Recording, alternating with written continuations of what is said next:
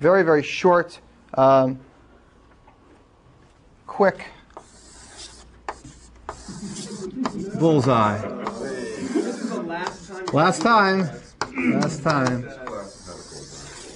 Last time. Ellipses. All right, here's that, the bullseye. And we had this other bullseye at the beginning of the semester, you know, that had regular sets in the middle and context-free languages outside of that, and decidable languages outside of that, and then undecidable and then not partially decidable. And it's like they're two separate diagrams. I never drew them on the board at the same time, you know, for fear that they would insult each other or something. But, but the truth is, I mean, they have to fit in with one another. So where do they fit in? Where do regular sets fit in in this diagram? Where do context-free languages fit in in this diagram? Where, do, uh, where does the decidable languages fit in this diagram? So let's start with the easiest question. If I drew a circle to represent decidable languages, where would it be? Around the whole thing. Around the whole thing, inside P, in P space, where would it be? Every one of these classes represents Turing machines that solve problems in this amount of time. So they all are guaranteed to halt in these time or space bounds. So decidable languages go out here. All this complexity theory stuff is underneath the decidable languages. Now, what about languages that are, that are context free? Sets of strings that could be generated not by a Turing machine, but could also be generated by a context free grammar. Everyone understand? It's hard to decide that, but, but let's say somebody gives you a grammar and says, here's a, a grammar, and, and you know that the set of strings is from that grammar. How much time would it take for you to write a Turing machine, or how much time would the Turing machine take once you wrote it to, to accept all the strings in that set? That's the same question as how much time does it take to solve the membership problem for context-free grammars? You're given a string, it comes from a context-free grammar, you're going to write a program now to decide it, not a push-down machine, a program. How much time does it take? Linear. Right, the best time we know is linear, for deterministic context-free languages at least. For non-deterministic, we have this algorithm we did in class, which is the order n cubed in the worst case. So all those context-free languages are way inside here, CFLs. And in particular, they're n cubed or less. Okay, so they're way inside. Now what about regular sets? They're even further inside. How long would it take your program to recognize strings that were regular sets? More or less linear time. It just scans the input going from state to state and it knows the answer. Okay, so the book actually mentions a nice result about that. The book talks about Turing machines that try to accept this, right? And it gives you one method that takes order n squared. Just a completely random method takes order n squared. You, need, you, you find the matches, you go to the next match, you might scan the whole thing n times. That gets order n squared. And the book tells you a more clever way to do it. They figure out a way to do it in n log n. You can think about that yourselves, how you might want to do this on a Turing machine in n log n, so that you don't actually scan all of it n times, you scan all of it at most log n times.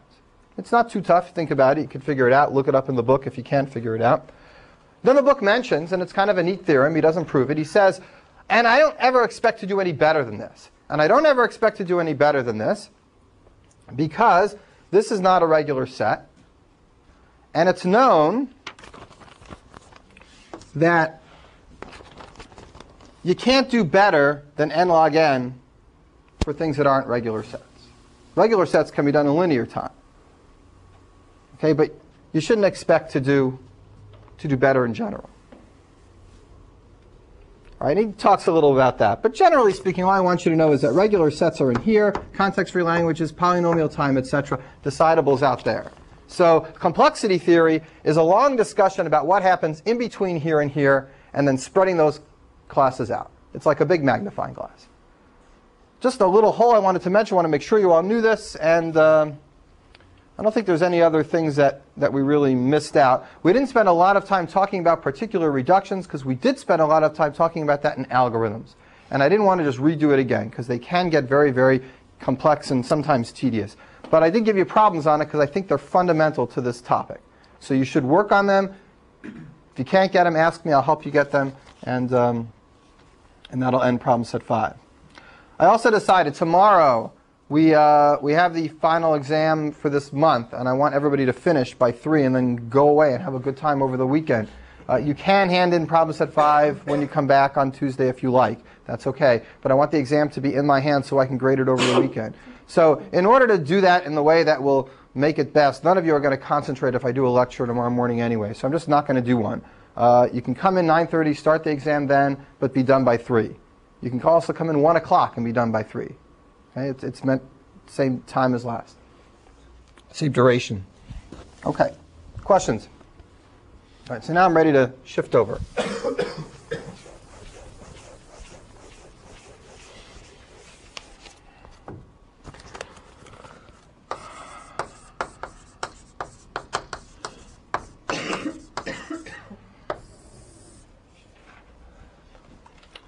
Sometimes called the recursion theorem. Sometimes in more mathematical books, it's called a fixed point theorem.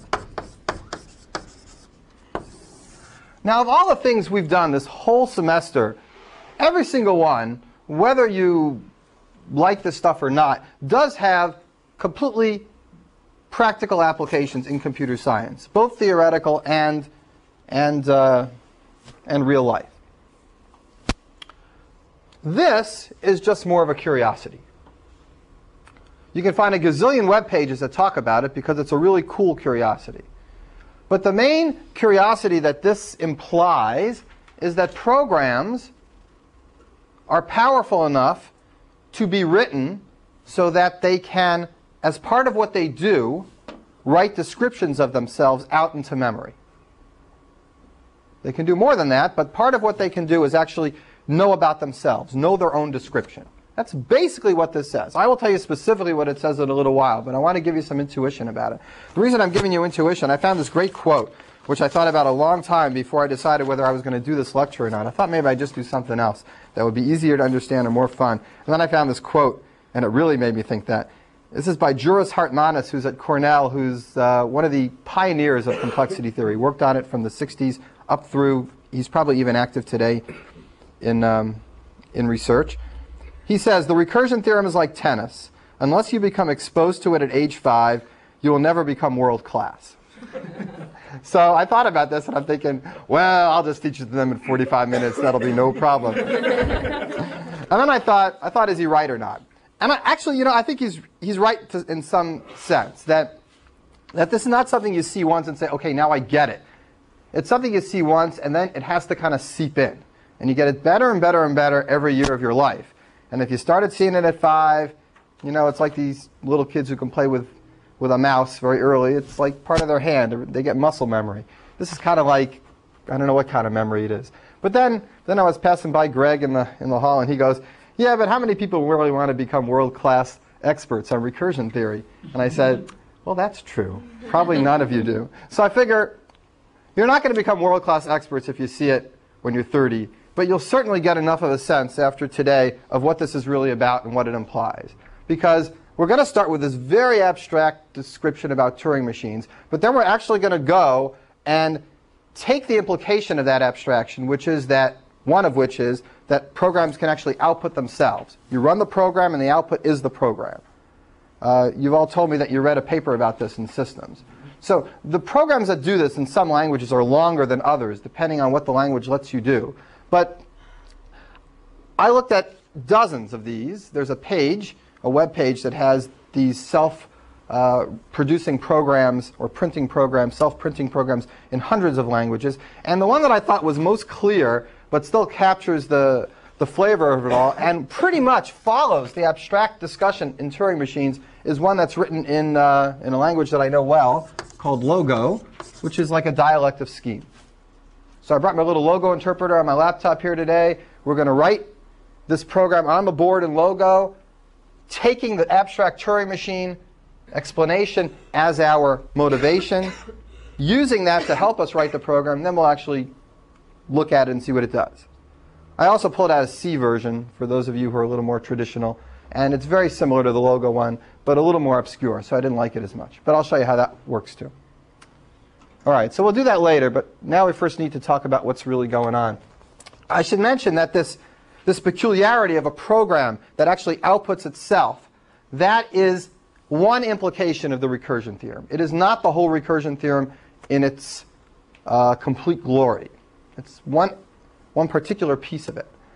Uh, let me give you another little piece of the recursion theorem and give you a sense of why it's called a fixed point theorem and show you how this connects with the, with the real theorem a little later. But imagine this, just for a moment. And here's why the recursion theorem is called a fixed point theorem. Imagine you were writing a Turing machine or a program whose job it was to take other Turing machines and simulate them on a particular input, say the string 0.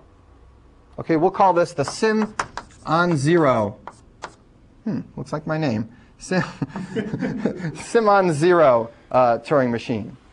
Okay, so this here's what it's supposed to do. It's supposed to take another input that represents somebody else's program, and it's supposed to simulate that program as if that program was given the input zero. Everyone understand what it's supposed to do? All right. So this Turing machine that simulates other programs on zero is going to have a bunch of states. It could be represented itself by some string. Do you think it's likely that the string that represents this program is actually the single symbol 0? Probably not. It's probably some long, complicated string. Okay? There's another program, simulate on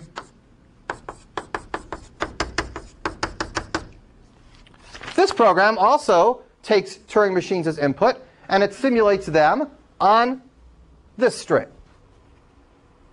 And whatever the Turing machine that it takes in as input does on this string, that's what this Turing machine will do. It'll just simulate it on this particular string. It takes any machine, simulates it on this particular string. So here is an, a corollary or an application of the recursion theorem or the fixed point theorem. The recursion theorem implies that there's some string that when you write the simulation on that string, that the description of the Turing machine that does the simulation is actually the string itself. You want to understand that strange thing? Remember I told you we don't think that this simulation is going to be represented by the string 0, nor does this simulation program likely to be represented by this short string. But the fixed point theorem implies, or the recursion theorem implies, that if you write a whole bunch of these programs that simulate other Turing machines on particular strings, that one of those programs, if you look at its description itself, will actually be the string that the other machines are simulating it on.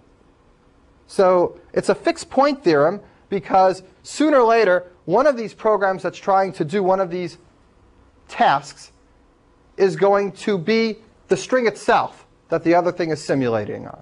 In other words, the Turing machines that it takes in are actually being simulated on itself. Fixed point because this little part ends up being the same as the machine itself. All the others might be different, but one of them, it's going to match. Right? Is that already a little too weird? We have no idea which string it's going to be, but you could find it if you looked hard enough. All right, those are some of the implications of the fixed point recursion theorem. But some of the more easy to see, appreciate, and understand are the ones where the machine just outputs itself. So let's start with that. And our book does the same. It starts with that, and I think it's a good idea. So, before we talk about this recursion theorem or more implications of it, and I'll get back to that other implication later, let's talk about viruses, or basically programs.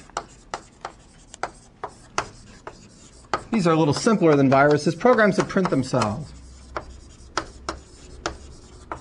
Basically, viruses are programs that print themselves and probably do something nasty also. And then print themselves, and then they spread. They do nasty stuff and spread themselves. Okay. So we need to prove that there's a way for a program to print itself. And I don't know. Does anybody feel like that's easy? Because every time you try to do this, it ends up being hard. And here's here. Here's the way typically you start. printf, well, I don't know, printf, print hello world.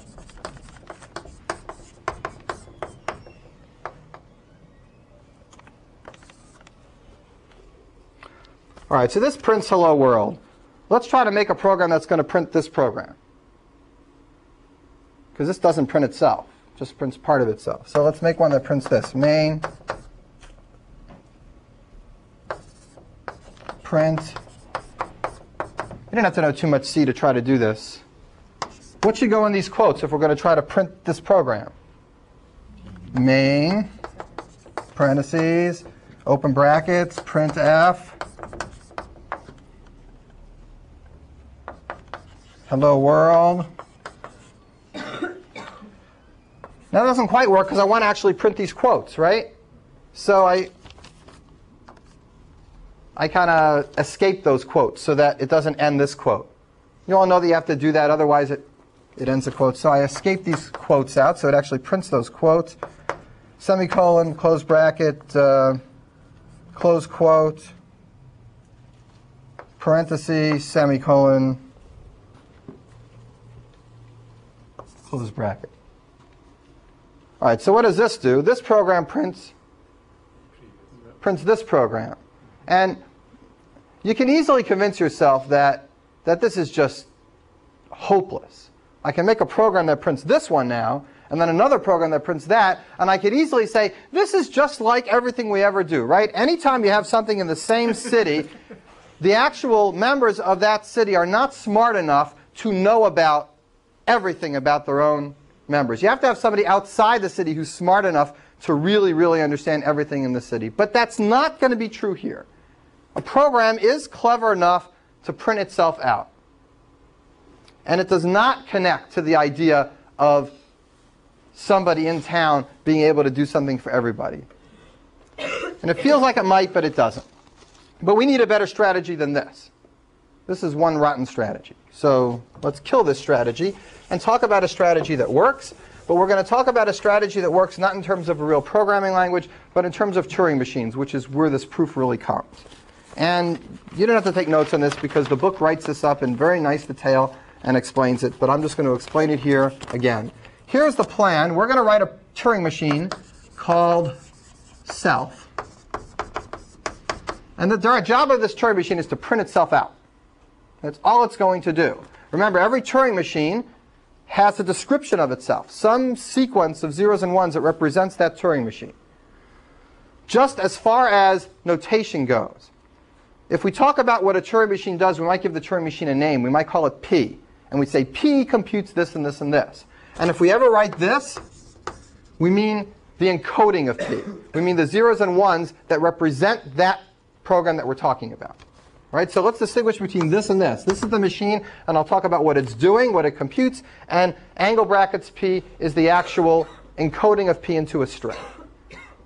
And it seems like a minor thing to make a fuss about, but there won't be any way to, to describe what we're doing unless we distinguish between these two. Okay, questions so far? All right. So here's the trick. This TM called self, here's the description of it. It's going to be composed of two other pieces. Think of this as meaning that self has two parts, an A part and a B part. Very abstract here, but in just a couple minutes you're going to see these parts show up in a real program, so it won't be so weird. Self has two parts, A and B. I'm going to describe each of the jobs of these parts, but basically here's what's going to happen. A is basically going to look at B and store B in memory, or put B on the tape. And you're thinking, well, what the hell is B? Well, I haven't told you that yet. But whatever it is, A is going to put it on the tape.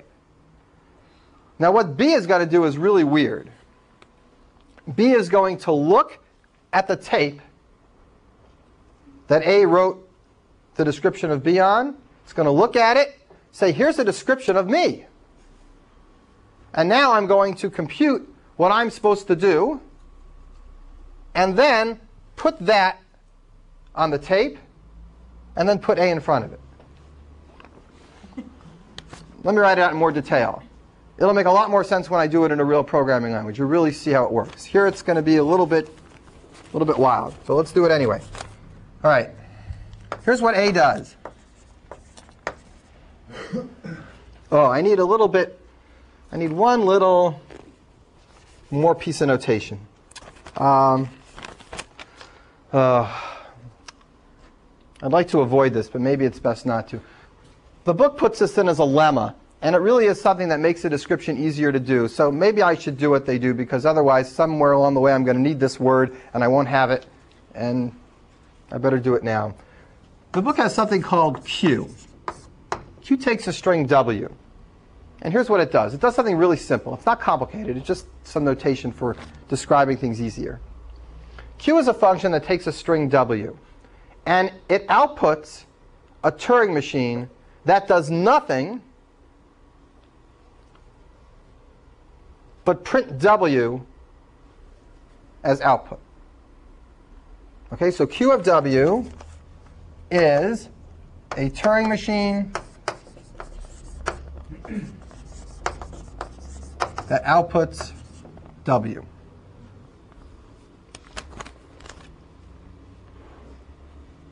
Does it do it for all W's, whatever it is? It's just a machine that. It's just a machine that does nothing but output W.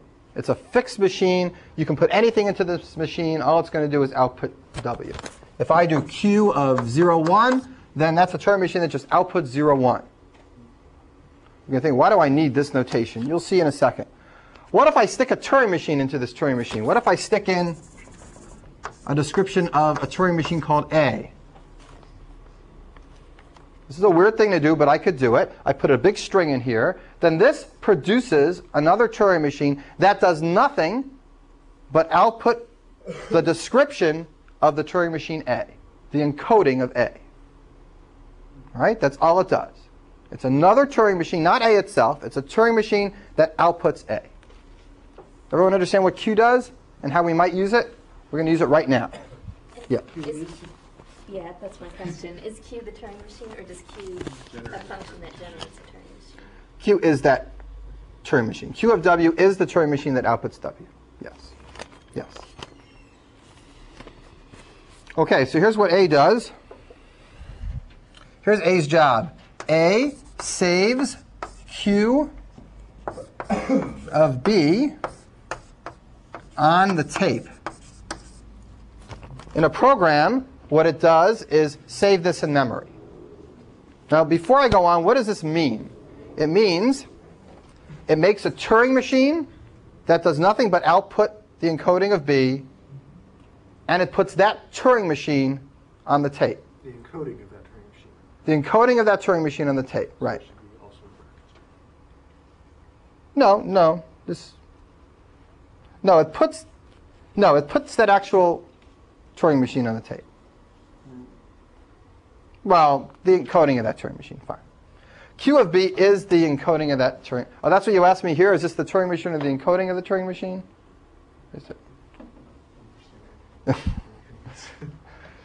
it puts on the tape an encoding of a Turing machine whose job it is to do nothing but print out the description of B. Now the thing is, we don't know what this should do right now because we don't know what B is. So let me explain what B does. So hold off because we can't really finish this step or know the details until we do this. But once we do know this, we'll be able to take the encoding of what B does, create a Turing machine that prints that encoding and put it over here. Oh, you really need to see a program that does this. But let me finish this first. All right, so here's what B does. Get the output of A from the tape.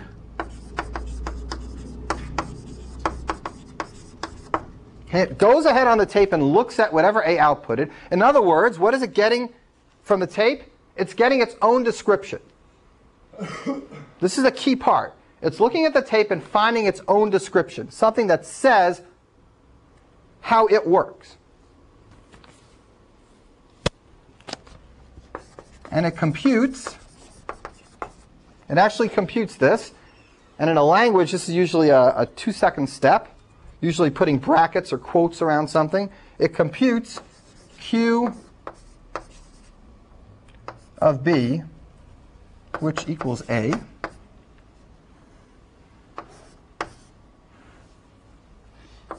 and I'll make a comment. That's a program that prints out B.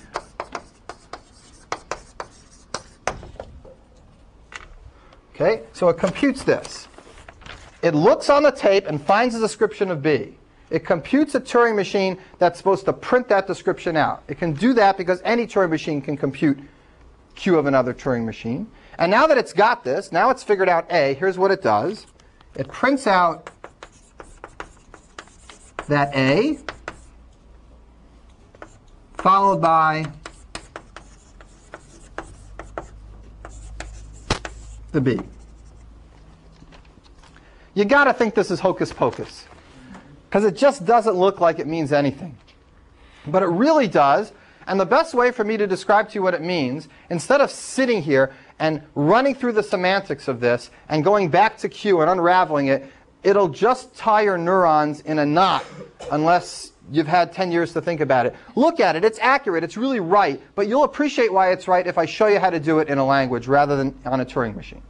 Right, so let's do that in parallel to this. I will mimic this plan in Logo.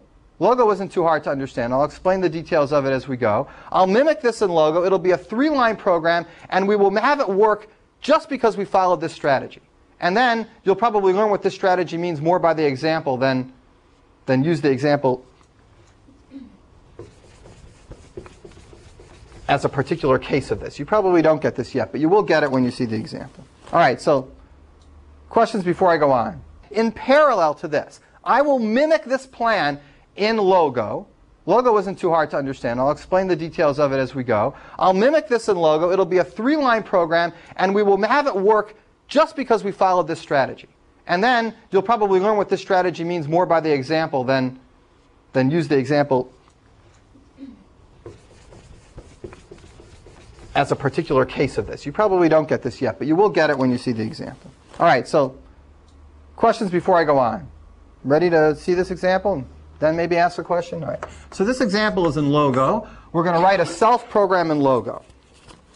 Now in Logo, when you write a procedure, you start it with a word to. So here's the procedure. To self. And here's end. That ends a procedure. All right? Ooh, now what goes inside? There's only two lines and it's going to write itself. It's so cool. It's the coolest thing. I had so much fun playing with this uh, last night. All right. Are you exposing your kids to this? No, no, I just kicked them downstairs. I said, leave me alone. I got to think. This is so hard to think about. I, Otherwise, they'll never be world class. Oh, I see. They're, well, well, one of them's not five yet. Maybe I should expose him to it. He's only three. Forget world class. We're talking about universe class. I could teach him the words recursion theorem. That would make him quite a conversationalist. All right. The first thing we do, part one of this program, is write some piece of code that saves the description of the second part of the program onto a tape. So here's what that looks like in, in Logo. You make a variable, let's call it x, and we don't have tapes in Logo. We have memory. And x is a variable in memory, so we're going to save this description in memory. And we're going to save it in a place called x. So it looks like this. Make x, and right in here, where's my colors? Let's go for purple.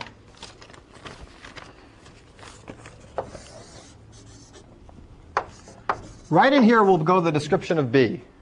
But I can't put it in yet because I don't know what it is. That's exactly how you should write one of these programs. You store what the program is going to be further down, and then you write the program further down, and when you're done, you stick it back in here. Okay, that's just what this is telling you to do. To make it a little more sense, but not yet, right? We have to go on. Okay. So what is B supposed to do? B is supposed to get this output A from the tape. How does it do that?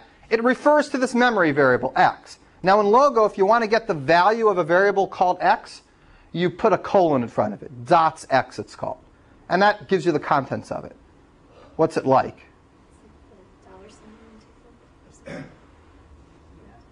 Yeah, is it like what? Like, it's like um, it's like a star in C, contents of. You know, if you program in C. Um, in Java, they don't have these things. Uh, in Scheme, they don't have these things. What the hell? You put dots in front of the variable to get the contents of it. It doesn't matter if you've seen it before. You know what it means. All right. Hmm. All right. So we are going to reference that x. And when we reference it, we are going to put it in the proper place where it belongs. And what we're going to do is we're going to compute the a. We're going to reference a from the tape in order to compute the description of a. And then we're going to print out a followed by b. All right. Well, how do we compute the description of something whose value is sitting over here? So like in a programming language, the description of a program is usually no more or less than putting that program into a string. The description of this program is just the program with brackets around it. So when I do this computation, Q of, of B, I'm going to look on the tape, I'm going to put brackets around what I see on the tape, and that will be a description of this program. Now if you're thinking, whoa, what's he talking about? You'll see in just two seconds. But maybe I should move on right here. Here, print. Here's where I'm actually going to do something. This part is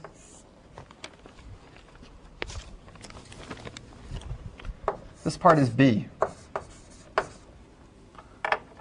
Whatever's going to be on this line is going to go back in there later. Okay, this is the second part. Here's what it does. It's going to print out A followed by B. Well, what's A here? Let me circle A with orange because it's hard to notice what it is. This is A.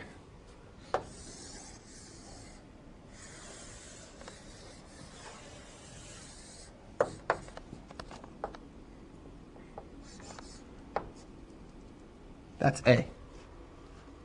Okay? If I had A all by itself, all it would do is save a description of B on the tape.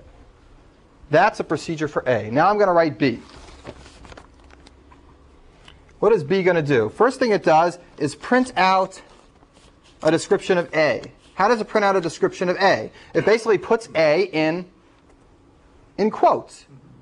Now in Logo, there's a particular way to do this. Especially there's some details here. You know, I want this to go to the next line. So these are minor details that depend on the language. But basically, if you do print, it'll shove a carriage return at the end of what you print. And if you do type, it won't put a carriage return at the end of what you do. So I'm going to do print to self. Okay, so that will print out the words to self and then do a carriage return. And then I'm going to type out the words make x.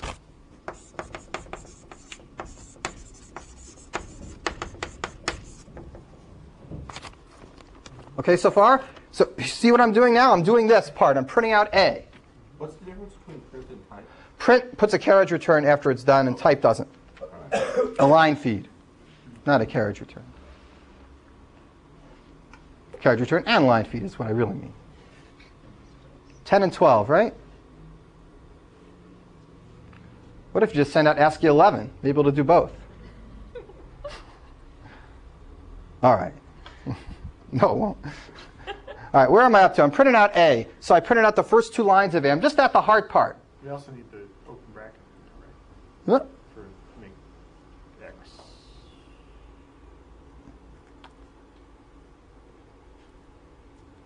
No. We now need to print this part out. Now, what is that part? That's the part that's called, what is it? It's a description of B, right? This whole thing with the brackets, including the brackets, is the description of B. With the brackets is a description of B. Inside it is just B itself. With the brackets around it is the description of B. I am now going to right here print out the description of B. Now, do you see here I print out A and then followed by B? In a language, it's a little different because B is kind of stuck in the middle of A. You see how A kind of wraps around B? So it's not like you do one and then the other. It's a little bit, uh, a little bit different than the Turing machine, which would be completely linear on the tape. Here, I'm printing out A. In the middle of printing out A, I have to print out B, and then I can finish printing out A. So right now, I go to this part. I have to print out the description of B. And this is how I do it. Uh, I could really, I need to just use one long line here, but I'm out of space, so I'm just going to continue on the next line. In, in logo, you just put like a backslash or something.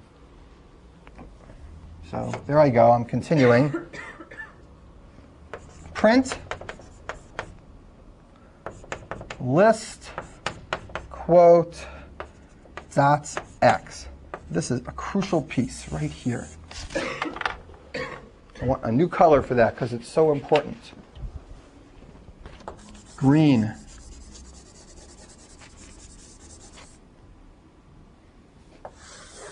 What is that? What is dots x? Dots x is the thing that's stored inside this bracket. It is b itself. List quote dots x is a procedure just like scheme. It takes two things and it makes a list out of it. List doesn't take one thing, otherwise I could leave out this quote. The quote is like a dummy parameter. It's a minor detail. But list dummy parameter dots x turns the thing inside here into a list. So I read what's stored in here and I turn it into a list. So this whole green thing is actually this whole thing, including the brackets.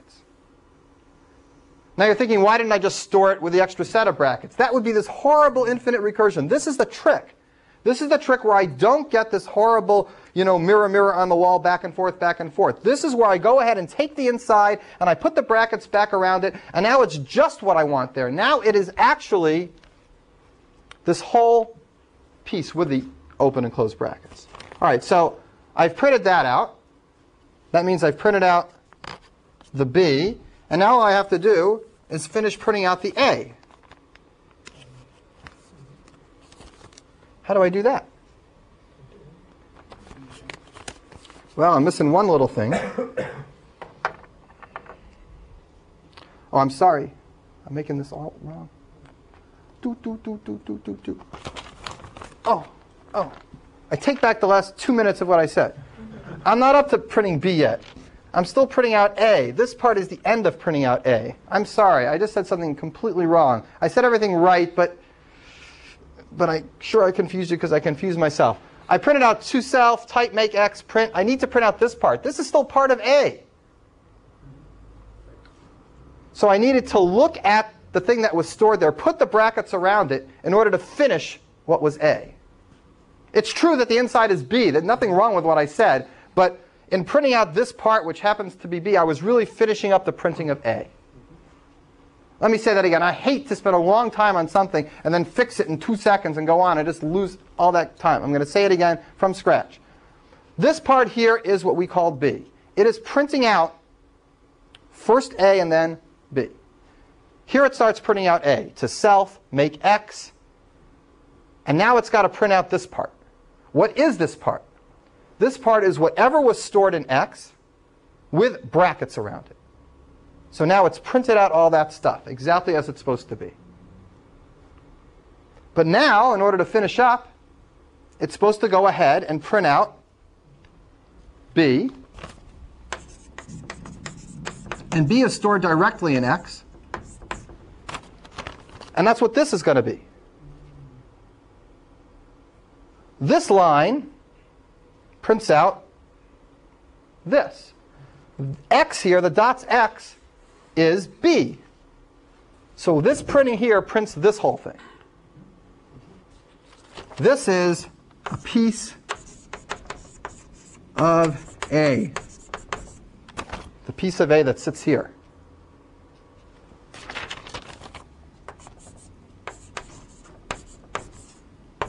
It equals that. I should have made it green.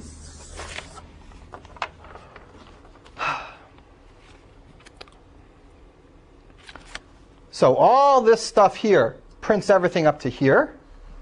And this little part at the end prints everything inside here, which is this. It's so cool that it doesn't loop forever. It's just really cool. All right, so what goes in here in the purple? Still need to print. Well, good. Thank you. I still have to finish printing A now. So I do print end. And now what goes in the purple? This.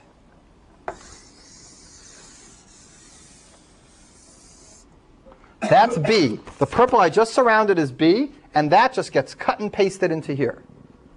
This language is so beautiful to do this in. If I did this in Java, in fact, I'm going to leave a copy of a version of this in Java. It's a holy mess. It's four pages long. You got to make a class to. It's just such a mess. You just can't do it so nicely. If any of you can figure out a way to do it in Java in like five or six lines like this, that would be really nice to see. And maybe you can because you're more fluent in it than I am. But but it's just so beautiful to do it here. Scheme also has a four-line version. Lots of languages. Uh, C, of course, has a one-line version. Of course, it's Zero. you know, actually, so a lot of people solve this problem by handing in an empty piece of paper and saying, well, here's the empty Turing machine, and it outputs itself. that, of course, is a trivial solution. But uh, right, Perl has a zero character version. C has a one line version, but it's 200,000 characters. Um, this is it.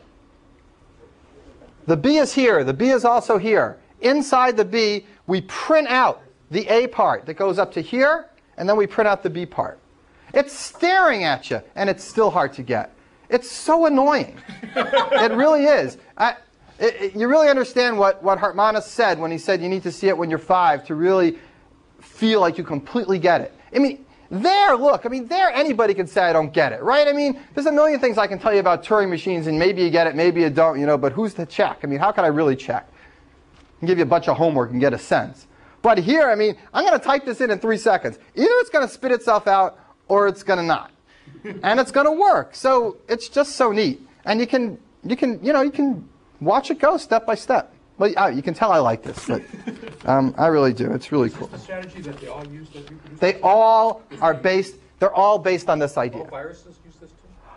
The part of them that reproduce themselves use this or something which you could probably guess is isomorphic to it. I don't know. I mean, I'm no expert, you know, hacking to every machine I feel like hacking into. I mean, maybe somebody's got a more clever idea of how to reproduce itself, but, but this is kind of the standard way to reproduce yourself.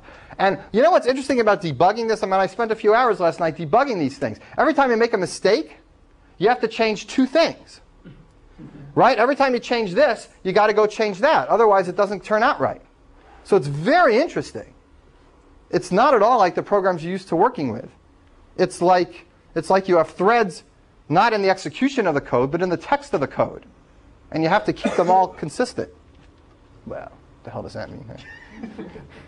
Sean, the other thing about viruses is they don't want to look the same when they reproduce themselves. Oh. Part of the point is that they don't have the same signature because that makes them too easy to find. Hmm. So, hmm. Right. But I can make this actually, and I'll tell you in a second. I can make this reproduce itself with a different last line every single time. That's what the recursion theorem really says. It says that you can do anything you want and have the program that's doing it output itself before you do it. That's what the recursion theorem really says. This is a special case. This is don't do anything after you reproduce yourself. The recursion theorem says you could always write a program to do anything you want, including nothing, and before it does it, it reproduces itself. I, I'm going to say that again because that is the recursion theorem. A recursion theorem says that if you want to compute anything, you can write a program that computes it, and before the computation is done, your program also spits out a copy of itself.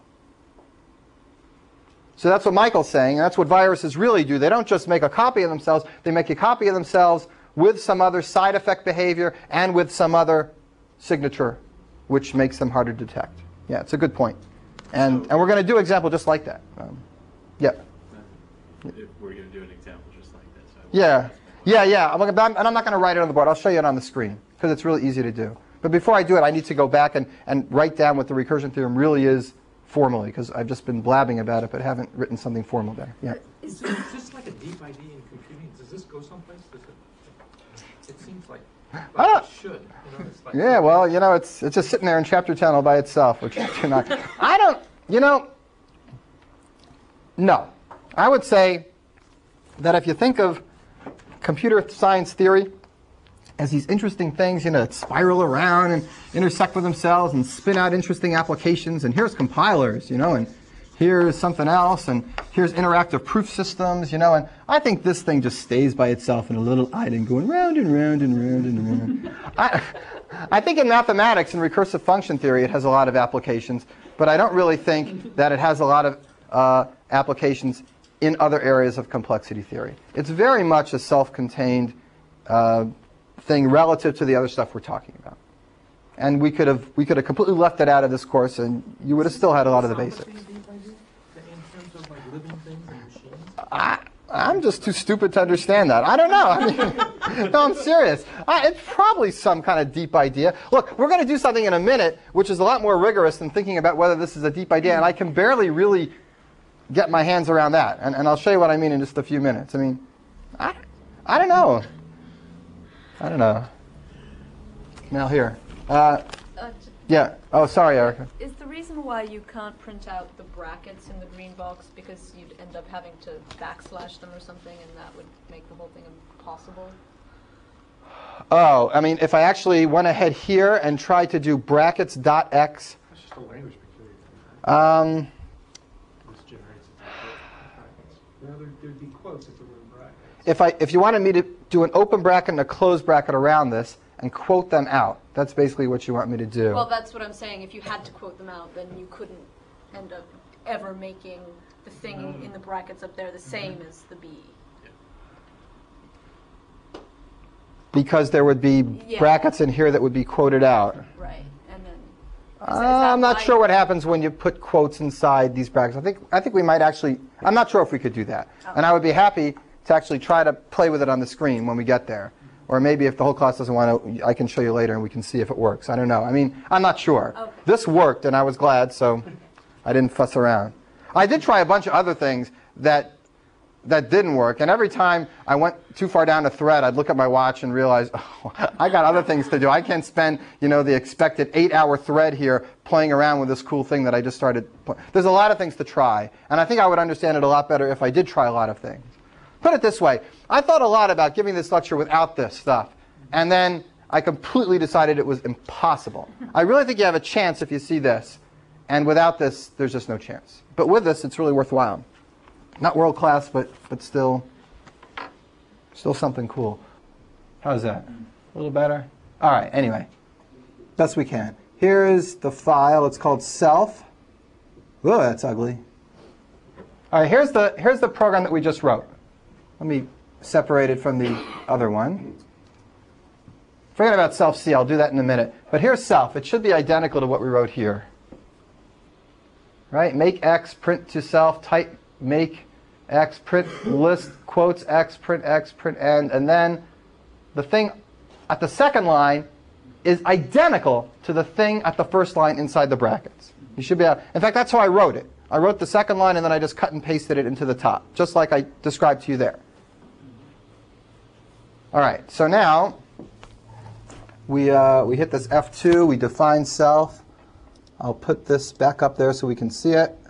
And now I'm going to, down here, I just write in self by typing it in. And there it is. Isn't that the coolest thing in the world? It's just so cool. All right, so it's just identical completely to what's up there. It's not colored though. I knew I should have turned that damn color off. I was actually just completely neurotic about that. When you use a bigger font, the output goes off the end of the screen. So then it actually puts these little backslashes in to show you, you know, that it really means to be the same line. And then it doesn't look identical to that. And I go, oh, I hate that. It's got to be perfect. So, so there it is, I, completely identical. It works, just works, two lines long. And it's so much like the way the Turing machine does it. It's so easy to see what's going on compared to the C version, which I'll, well, the C version's pretty good too, but compared to the Java version. Thing?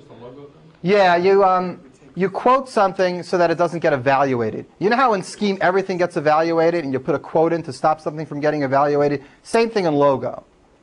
The dots are a special thing in Scheme, in, in Logo that's a little different than Scheme. In, in, in Scheme, everything gets evaluated, period. And if it's, a, if it's a value, it just comes back a value. If it's a procedure, it evaluates the procedure. But Logo distinguishes between whether a variable is going to be evaluated as a value holder or as a procedure. And if you put a dots in front of it, it evaluates it as if it's holding a variable. And if you don't put dots in front of it, it evaluates it like it's a procedure.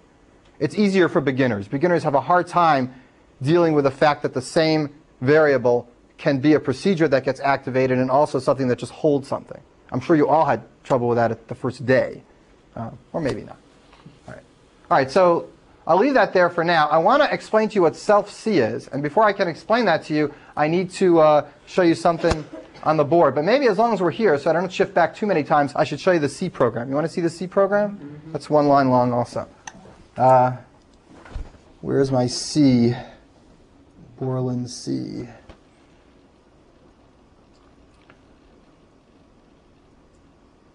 Oh, that looks like hell. Oh, this is it.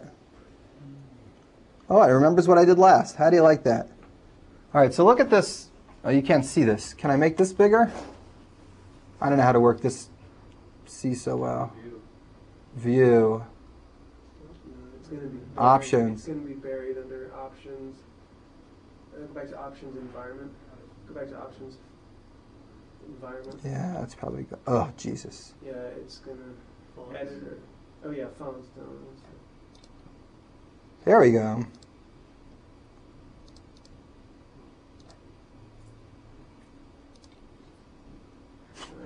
Oh, what the hell. All right, if you can see it or not, it's, there it is. It, it- it's the whole program's one line long. And look at it. It's very much like what we just did. Uh,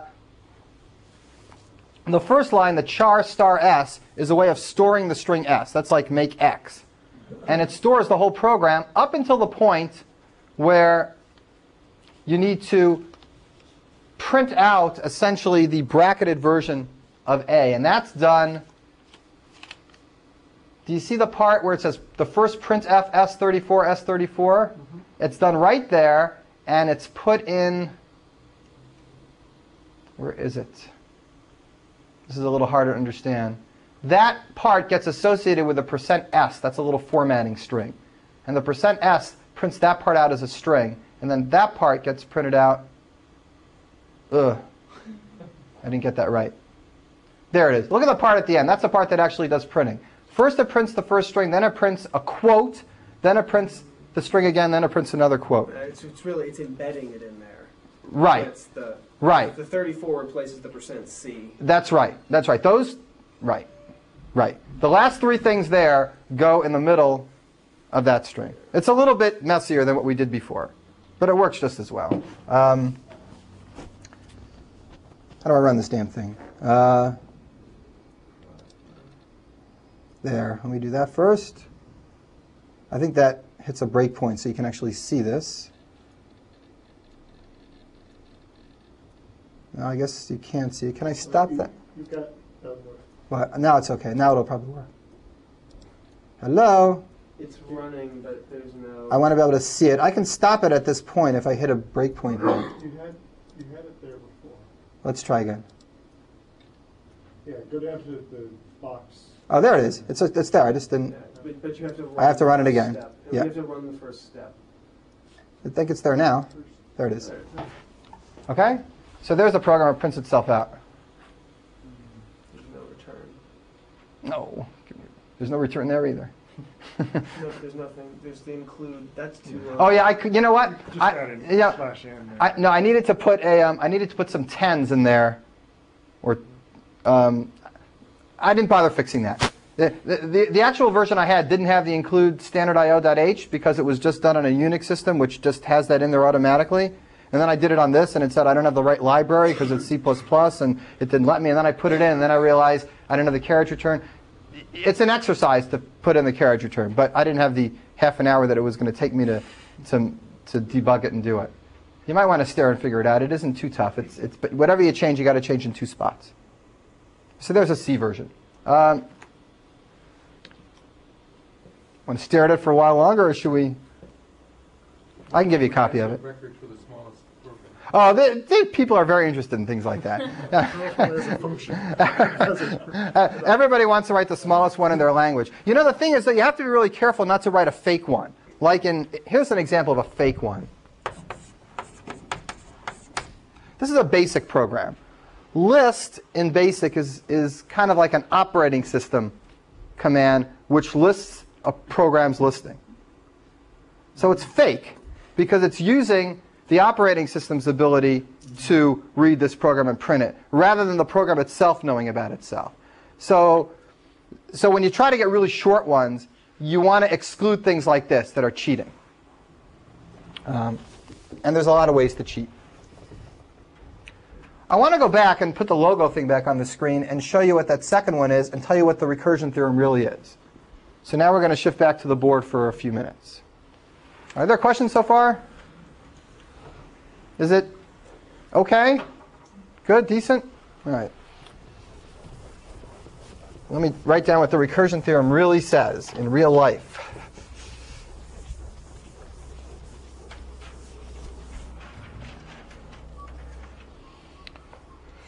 Okay. Um,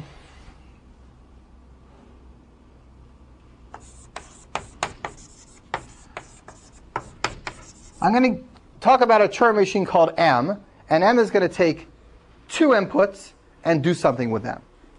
This is going to be abstract again, but I'll give you an example in a minute to make it clear. This is the thing that he said you need to see when you're five years old, so, so be patient. M is a Turing machine that takes two inputs and computes something. It can be anything. It could be like a universal Turing machine, you know, that takes another Turing machine and an input and simulates that other Turing machine on the input. It could be a very simple Turing machine that takes two inputs and just concatenates them together. It could be a Turing machine that takes two inputs and adds them together in binary. It can be anything. So let M be a Turing machine that takes two inputs and computes something. All right, then, here's the recursion theorem. Let's see if I can say it right. Then there is a Turing machine we'll call, what do you want to call it? Call it Frankie. Call it Frankie. I don't know why. I thought I heard Frankie. The Turing machine called Frankie that takes one input.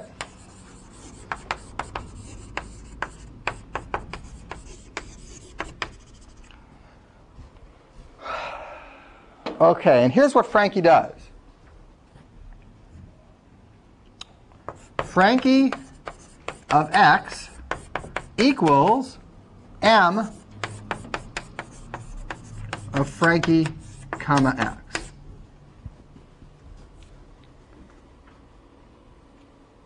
It looks like it's not saying much. So I'm going to interpret it in English.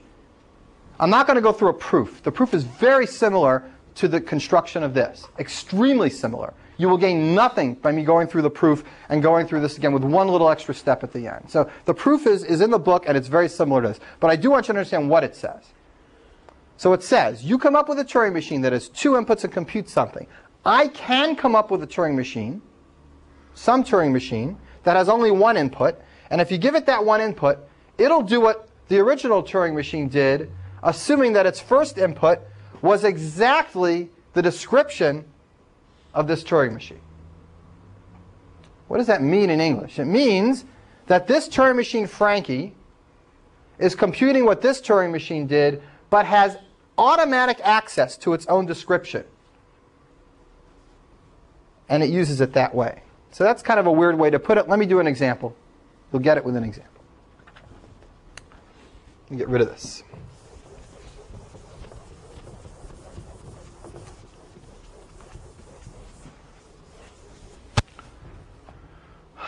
Let's say that M computes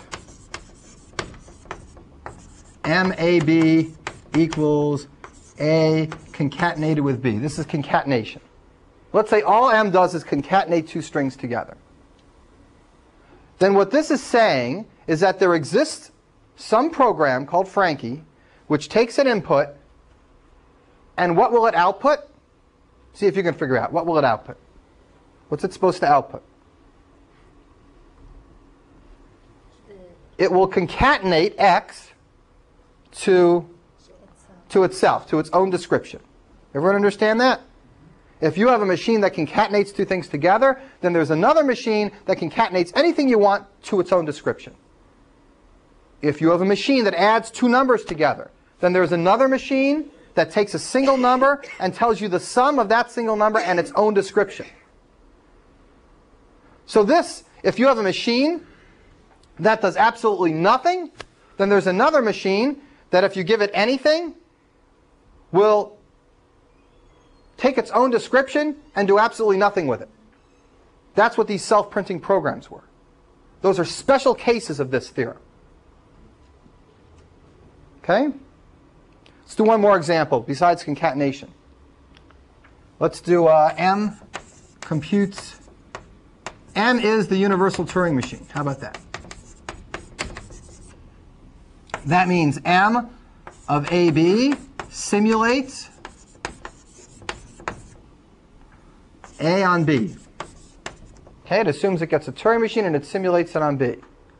What does the theorem imply based on this? It implies that there's another Turing machine called Frankie that if you give it any string, it will do what the universal Turing machine does with itself on that input. Basically, it just means it runs. It runs, right. Right. This is the most trivial example of how to use the recursion theorem. Any program you write happens to work here. It just means it runs on it. Okay? MAB simulates A on B, so Frankie of B is all it's supposed to do is do what the universal simulator does with Frankie on B. It's supposed to run Frankie on B. So whatever it does is okay. Now, as trivial as that is, I'm going to switch this around because this is the coolest thing. M of AB simulates B on A. Okay, it's kind of easy just to switch your universal Turing machine around. Now it simulates the second input on the first input. And now apply the recursion theorem because it says something completely different. What is Frankie supposed to do now?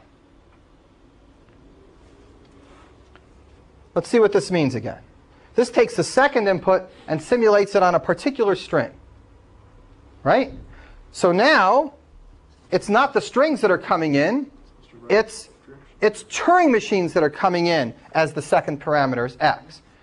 And the description of your machine is the string that these Turing machines are going to be simulating it on. So this says you can write a Turing machine that takes other Turing machines as input and simulates it on a particular string. Remember I said this at the very beginning of class? You can take a Turing machine and set it up so that it takes other Turing machines as input and simulates them, say, on the string 0. You can write a Turing machine that takes other Turing machines as input and simulates them on the string 1110111. This theorem says that there is a machine that takes other machines and simulates them on a string so that the string it simulates it on is the same as the description of Frankie. This is saying that whatever Turing machine is working on Frankie, now take a Turing machine, simulate it on something. That's exactly what would happen if you simulated it on the description of this thing. That's the proof of that fixed point. So if you switch this around, you don't get something trivial, you get something completely unexpected. That there's always a Turing machine whose description is exactly the same as the simulation that it's doing of other Turing machines on the given string.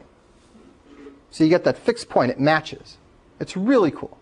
So that's a, maybe the coolest application that I could think of that's still comprehensible of this. And you can come up with other weird things for M, and then the implications of this become even more difficult to comprehend or maybe philosophical. But what I want to do before I quit, I'll let you stare at this and stare at this and think about it for a minute. What I want to do maybe just to, to finish up is let's look at the example for concatenation. The theorem says that if I have a machine that does concatenation, I can construct another machine that concatenates inputs to itself. The proof for that is very much like the self-printing proof we did, except you tag on a little bit at the end and you make sure that you, that you keep track of it in your self-repeater. So let's look at it. Look at this program right here.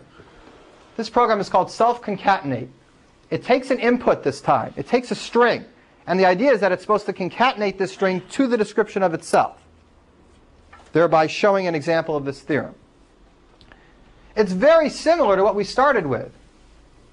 The only thing I do differently is at the very end, after I print out the word end, I print out, see right here? I print out the string. I concatenate it. But look how much I have to change just to do, put that one line in at the end. Every place that I refer to this line with a parameter, I have to change it. So self c dot string, self c dot string. Uh, I think that might be, is that the only thing I have to change? Well, and the print string is must be at the end of that. And, oh yeah, I gotta go off the edge here. And right here is a copy, as I said before. Shit.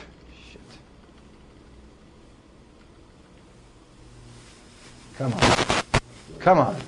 Come on, stupid machine. The print string is must be at the end of that. And, oh yeah, I gotta go off the edge here. And right here is a copy, as I said before. Shit.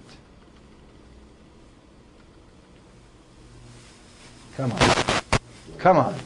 Come on, stupid machine. Go up, up arrow once and then go back. I'm doing, I'm just making this font a little smaller. All right, down it goes. Now you can, all right, up it goes. I'll make it a different, Just type in 11 in the, the size. That'll work too. a little bigger than this. Now I'm cooking with gas. All right, a little better. So I have to put the print string at the end of the program to concatenate it. I have to include that. Remember, any debugging you do in one place, you do in the other place. And I have to change any other parts of it that got changed because of the parameter.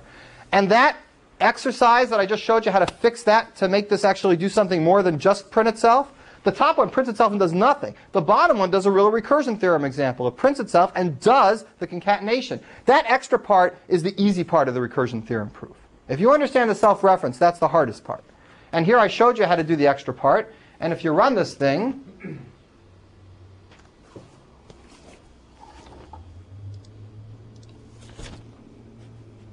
self C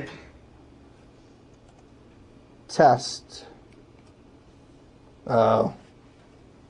That's what I was telling you about those.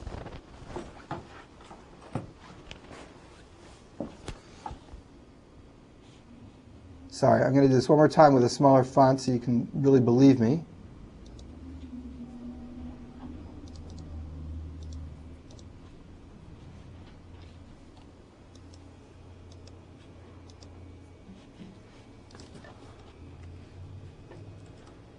Self C test. Oh, it still does that stupid thing.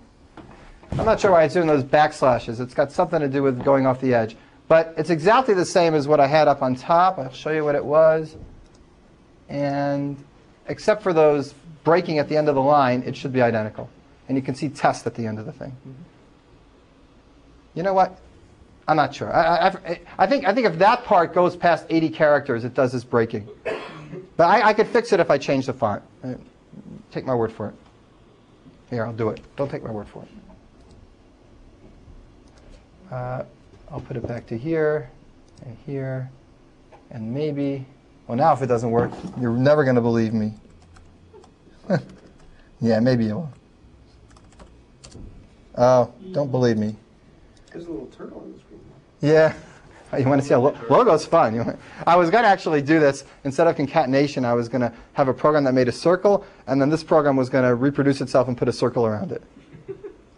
And I said, I only got 10 minutes here. I gotta, I gotta make it, make it clear. All right. So th- I, that's a minor thing. Those backslashes are because it goes off the edge of the line. It just means it, it's not an important point. But it really does reproduce that program exactly. And we could do this theoretically, no matter what the computation is, we can create our Frankie. And this also means any computer, any computer language you can do this with. Yes. Yes. Doesn't matter if it's a Logo or Scheme or Java or Forth or Haskell or who knows what. It's the coolest thing. Yeah. But it's really just a cool thing. I mean, go hack around. There's a, there's a page called Quine. These are sometimes called Quines, named after the logician, I guess. And, uh, and these self-repeating programs. You can find a page that just has hundreds of these submitted.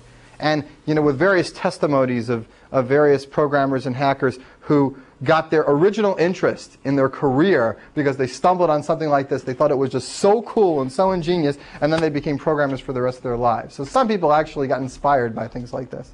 Um, I'm just wondering what the, like, what's the basic difference that lets the barber not be able to shave himself, but but the, But the program able to to print itself. I'm not even going to attempt to answer. I just don't know how to. I don't have a better answer better than just look at that example again. Um, I really don't. I don't have a really, really inner feeling as to the difference. And I might one day, and then I'll try. And, and it, it's like a teacher's, a teacher's worst I was talking to Patrick Winston about this. He goes, you know, whenever you go to a class, you always tend to have this disease that you never feel you have enough. You know, you, and that happens when you think about something for 20 years. It starts to seem easy, and you feel like, well, I'm going to be done in 10 minutes. So you prepare more, and then if you don't catch yourself and have a little self-awareness, you'll lose it completely. And it's like one day I will finally get an idea, and then I will be like compelled to have everybody understand it in one afternoon. and it'll just be. I really don't. I really don't have anything to say, and I wish I did. I just don't have a nice explanation. These, these, these machines are not universally aware. They don't have to deal with. That's right, right, right. That, world of truth. that's a nice thing to think. Right, right. They certainly only deal with themselves. Right? We're not talking about a collection of people in the city and that one person knows everything about all the other people in the city. We're talking more that any particular person in the city is allowed to know a lot about themselves, but maybe not a lot about everyone. So I think that's, that's a nice way to put it. Yeah, that's a good idea. Yeah. Except that the problem was with the self-knowledge. Yes, the problem with this, right, right. The problem with knowing about everybody is self-knowledge. But if you don't insist on knowing everything, then it's okay to have a little self-knowledge. I guess that's the, the moral. Uh, a little self-knowledge is a good thing. All right, um, good. Tom's here, so he's still taking pictures of me, right? Uh, I want to I wanna finish with this topic, and, and I'll give you copies of all these things that I have, and I'll let you look at them and play around with them. But I want to do one more short topic before we go, and it's something you've seen before, and the only reason I'm doing it is because it's just really cool, and I don't have to get into too many details about it. So I promise I never put the picture on the board again, but I'll just put this one word on the board. Imagine the picture's there, and one of the, one of the rings says P-space on it. And remember I told you that P-space e- equals A time, alternating time, that's polynomial. So if you have polynomial time algorithms, but they work on alternating Turing machines, that takes us all the way to P-space. Non-determinism takes us out of P into NP, and alternating, the next step up, takes us up to P-space. Nice little jumps. There's something else that P-space is equivalent to, a class that I haven't talked about at all. It's really an advanced topic, but Mike Sipser talked about it when he was here. So I'll be able to remind you fairly quickly. I won't go into any formal details about this class. I'll just give you an example of how you compute things in this class. And then I'm going to tell you the theorem that this class, which is called Interactive Protocol, that this class called IP is exactly the same as P-space. And that's just the kind of results theoreticians love. Somebody makes up this weird class, hopes it's a natural class to make up, and somebody else shows that it's exactly the same as another class we've been talking about that has a natural meaning. This is a very wonderful theorem, and it's a long one. It's about 10 pages in the book. So I won't convince you of this theorem, but I do want to tell you what IP is. So you know what p-space is. You know what A-time poly is. P-space is deterministic algorithms that use polynomial space. A-time poly are polynomial time algorithms that use alternating Turing machines. Interactive protocol is not at all like any computation you've had so far. It's not exactly deterministic. It's not exactly non-deterministic. It's a conversation. We compute things by having a conversation. Now, non-determinism in some ways is like this. In non-determinism, we have a very short conversation. Say I want to figure out 3 sat. How do I solve 3 sat non-deterministically? Who remembers? What do you do? Make a guess. You make a guess as to what? What do you guess? A truth value. for every single variable. So let's think that, let's say that's your part of the conversation. Erica picks true and false for all the variables, and then she sends that message to me. And I get this letter from Erica, and I'm opening up really eagerly, and in it is nothing but true and false values. And I go, and then I look at it, and I say, well, I wonder what she's doing with her life, but let's at least check whether this formula is satisfiable. So I look at the formula, and I check the true false values against my formula, and it works out. And I write her back a letter, and I go, thanks, now I know this is satisfiable. And then she sends me a note the next day with another true false uh, assignment for a different formula that I had sent her. And that one doesn't work out. You know, I go, can you please try again? But she can certainly convince me that it's satisfiable when it is. All she has to do is guess a way to do it, and I can evaluate that in polynomial time. So my job is a polynomial time evaluator or verifier. And her job, I don't know how she does it. She has superpower, you know, I don't measure how much time she takes. Her job is to convince me of these things. Think of non-determinism that way, and you'll understand a little bit about interactive protocols. Interactive protocols are the same kind of thing, except there's some randomness involved, and there's a back and forth that can go more than once. This is Sipser's lazy slave thing. That you Exactly. Right? It's the same thing. It's, it's not, you, you've heard it before if you were at the lecture, and if you weren't, you'll hear it now. Uh, what about the complement of three SAT? I have a formula, and I want to know not whether it is satisfiable, what I want to know whether it's not satisfiable. Everyone understand the difference? And Erica's sitting at home, and she gets to send me these same messages, and I get to check them in polynomial time. How can she do it now?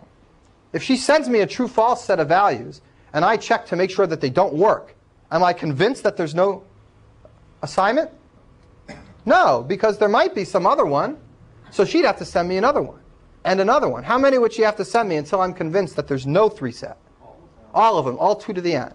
So despite the fact that she has tremendous power in picking these things, and she can, I don't measure how much time it takes her, but the protocol constrains us for this problem that I can't do it any better than 2 to the n time. She has to send me 2 to the n messages for me to be convinced. This problem is not in NP as far as anybody knows. Complements of NP is not closed under complement. This problem is NP, and this is not an NP. P is closed under complement, but not, not NP. Can't, can't do complement of non-deterministic stuff, just like finite state machines. So Erica can't do this. So what people did is they said, well, why don't I just invent some way to improve the protocol and allow people to convince other people of things like this?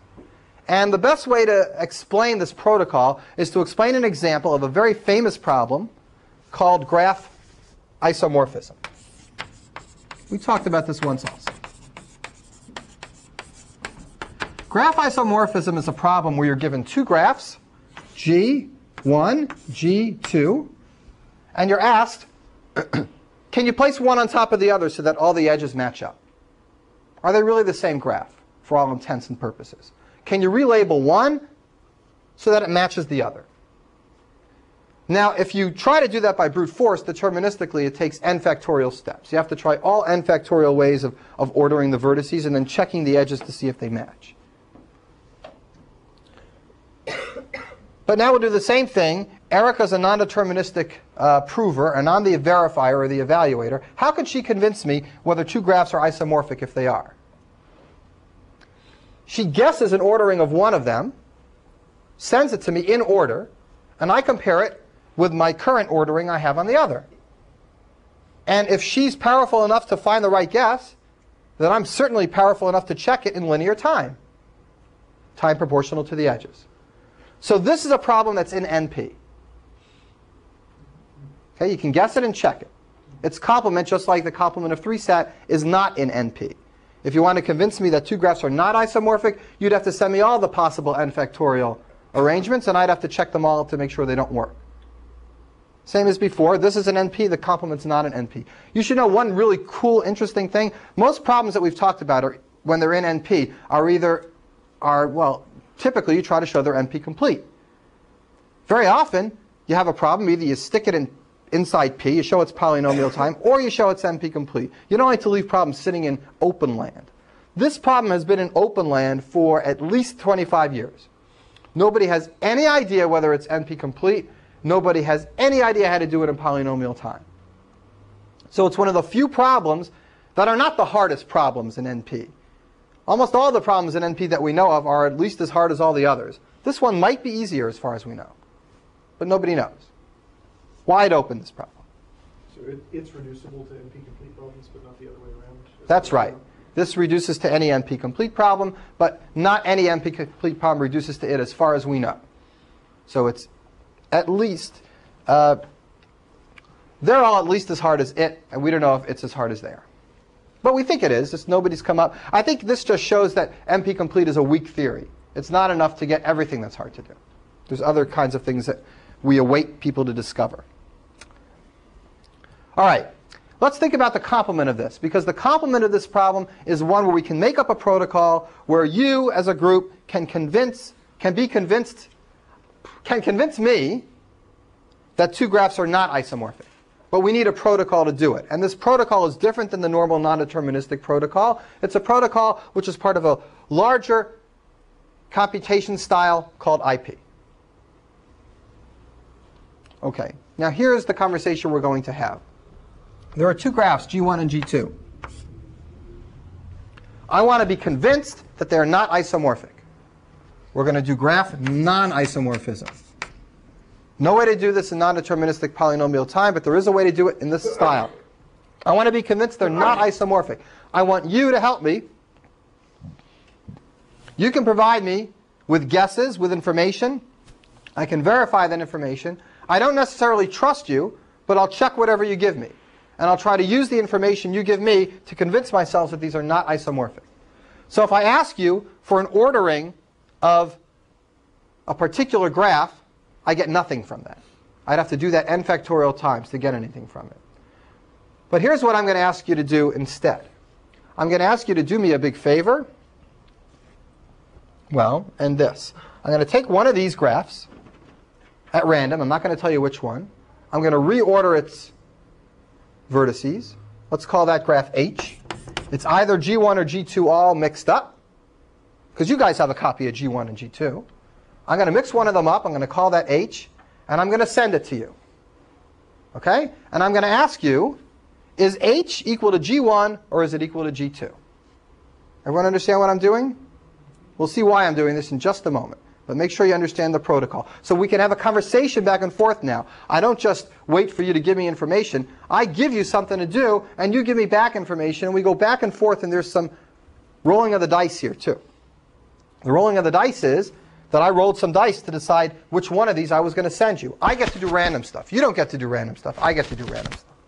So I picked this randomly. It gives me power to do random stuff. It's amazing how much power it gives me. I picked this randomly. I hand it off to you. I randomly redistribute the, the nodes and I say, which one is it, G1 or G2? And you sit there and I don't care how much time you take or what you've got under your sleeve, you're going to give me some answer. Now let's say it's really G1 and you get it right. You say it's G1. Well, you had a 50-50 chance to get it right. So that's not a very big deal. But let's say I randomly choose back and forth between these two, and for 50 times in a row, you get it right. The chance of that happening if you did your guess randomly is 1 in 2 to the 50th. That's the chance of you getting every one of those right. So there's no way you're getting it right randomly. If you're getting these right, if I have a 50 mail back and forth with you and you get it right 50 times in a row, I can be certain, virtually certain, not certain, virtually certain, 99.999%, with only the teeniest chance of an error, I'm virtually certain that you did not randomly just pick G1, G2 and send it back to me. Well, how could you know whether it's G1 or G2? If they, if- they get it wrong, that means that they're isomorphic. No, it doesn't mean anything if they get it right or wrong um, in a single time. If you send them G1 and they say, and they match it with G2. They're matching it with H. Yeah, they're picking, uh, assigning. They're saying that H came from G1. Yeah, but what if they show it comes from G2? Doesn't that mean that G1 and G2 are equal? Yes, it does. Yes, okay. Yes, yes, it would. Right. So let's think of the possibilities here. Let's say these two really were the same. Then how would this protocol go? I pick one of them at random, I send it to you guys, and you tell me which one it is. You can try your hardest to mess me up. But how are you going to possibly know which one it was if these two are exactly the same? The best you can do is random then. So what you asked Neil, what if they're the same? What if they are the same and I do my protocol? Then I will never expect any answer better than random because you don't know which one it came from. And it could be either G1 or G2. Whatever method you use, you're going to have to guess sooner or later. So if they are the same, I expect random answers from you guys. Therefore, when I get an answer like this, where you got 50 in a row right, you've convinced me of something. You've convinced me that they are probably not isomorphic. When they are isomorphic, you can try as hard as you want and you'll never convince me of anything. But if they are not isomorphic, you can definitely convince me that they're not isomorphic by getting the answer right a lot. So this protocol is different than non-determinism. For one thing, I have random choices that I can use. Flipping a coin, and that gives me a lot of power. For another thing, I get repeated conversations, not just a one-time letter. We get to send letters back and forth 50 times. It's the repetition of the letters and the use of the randomness that gives this protocol more power than NP. And completely fascinating and interesting, it picks it up exactly one complexity class, moving it from NP into P space. Everything you can do with this protocol, you can write a deterministic polynomial time algorithm that uses polynomial space algorithm. And if you have a polynomial space algorithm, you can come up with a protocol, a conversation like this, which solves it just as well. They're equal. So that's one of the really beautiful results in complexity theory. And this is new. This is not new. It's 10 years old, probably. Certainly within the last 10, 15 years. Okay, I'm going to quit with that. Other questions about anything?